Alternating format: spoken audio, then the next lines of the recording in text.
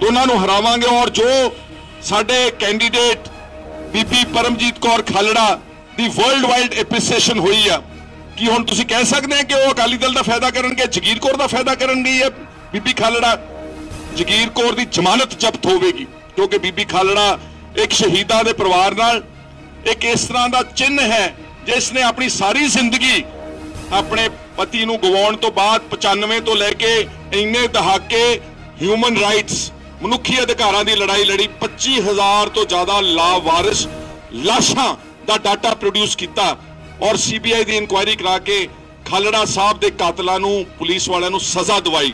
ਕੀ ਬ- ਕੀ ਕੀ ਬੀਬੀ ਖਾਲੜਾ ਵੀ ਅਕਾਲੀ ਦਲ ਦੀ ਮਦਦ ਕਰੇਗੀ? ਮੇਰੇ ਲਾਗੇ ਬੈਠੇ ਨੇ ਮਾਸਟਰ ਬਲਦੇਵ ਸਿੰਘ ਜੀ, ਜਿਨ੍ਹਾਂ ਨੇ ਆਪਣੀ ਸੀਟ ਦੀ ਪਰਵਾਹ ਨਾ ਕਰਦਿਆਂ ਹੋਇਆਂ ਆ ਤਾਨਾਸ਼ਾਹ ਆਗੂਆਂ ਨੂੰ ਅੰਗੂਠਾ ਦਿਖਾ ਕੇ ਦਿੱਲੀ ਵਾਲਿਆਂ ਨੂੰ, ਜਿਨ੍ਹਾਂ ਨੇ ਮਾਫੀਆਂ ਮੰਗੀਆਂ ਬਿਕਰਮ ਮਜੀਠੀਏ ਤੋਂ ਜਿਹੜੇ ਰੋਜ਼ ਮਿੰਤਾ ਕੱਢਦੇ ਨੇ ਕਾਂਗਰਸ ਦੀ ਗੱਠ ਜੋੜ ਦੀ।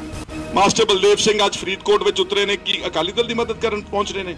ਮੇਰੀ ਖਡੂਰ ਸਾਹਿਬ ਦੇ ਵਿੱਚ ਵਿਸ਼ੇਸ਼ ਤੌਰ ਤੇ ਟਕਸਾਲੀ ਅਕਾਲੀ ਦਲ ਦੇ ਪ੍ਰਧਾਨ ਸਾਹਿਬ ਨੂੰ ਅਪੀਲ ਹੈ, ਬਹੁਤ ਹੰਬਲ ਅਪੀਲ ਹੈ। ਬਹੁਤ ਨਿਮਰਤਾ ਸਹਿਤ ਅਪੀਲ ਹੈ ਸਾਰੀ ਲੀਡਰਸ਼ਿਪ ਨੂੰ, ਪੰਜਾਬ ਦੇ ਹਿੱਤ ਵਿੱਚ, ਸ਼ਹੀਦਾਂ ਦੇ ਪਰਿਵਾਰਾਂ ਦੇ ਹਿੱਤ ਵਿੱਚ। ਤੁਸੀਂ ਖਡੂਰ ਸਾਹਿਬ ਤੋਂ ਆਪਣਾ ਜਿਹੜਾ ਉਮੀਦਵਾਰ ਹੈ, ਉਸ ਨੂੰ ਪਲੀਜ਼ ਵਿਡਰਾਅ ਕਰ ਲਓ।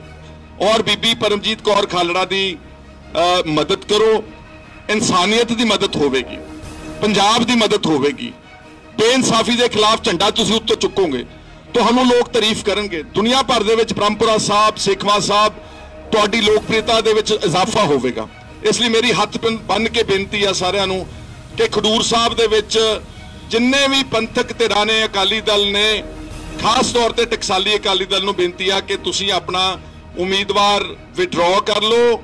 ਆਪਾਂ ਉਹਨਾਂ ਵਾਸਤੇ ਕੋਈ ਹੋਰ ਸਿਚੁਏਸ਼ਨ ਕੋਈ ਹੋਰ ਪਾਰਲੀਮੈਂਟ ਕਨਸਟੀਟੂਐਂਸੀ ਦੇਖ ਲਵਾਂਗੇ ਪਲੀਜ਼ ਤੇ ਬੀਬੀ ਪਰਮਜੀਤ ਕੌਰ ਖਾਲੜਾ ਦਾ ਵਿਰੋਧ ਨਾ ਕੀਤਾ ਜਾਵੇ, ਮੈਨੂੰ ਪੂਰਨ ਆਸ ਆ ਕਿ ਸੁਲਝੇ ਹੋਏ ਵਿਅਕਤੀ ਨੇ ਬ੍ਰਹਮਪੁਰਾ ਸਾਹਿਬ ਤੇ ਸੇਖਵਾਂ ਸਾਹਿਬ, ਉਹ ਸਾਡੀ ਅਪੀਲ ਦਾ ਕੋਗਨੀਜੈਂਸ ਲੈ ਕੇ ਸਾਡੀ ਅਪੀਲ ਨੂੰ ਸਹੀ ਮਕਸਦ ਵਿੱਚ ਸਮਝਦਿਆਂ ਹੋਇਆਂ ਆਪਣੇ ਉਮੀਦਵਾਰ ਨੂੰ ਖਡੂਰ ਸਾਹਿਬ ਤੋਂ ਬੀਬੀ ਖਾਲੜਾ ਦੇ ਹੱਕ ਵਿੱਚ ਵਿਡਰਾਅ ਕਰਨਗੇ।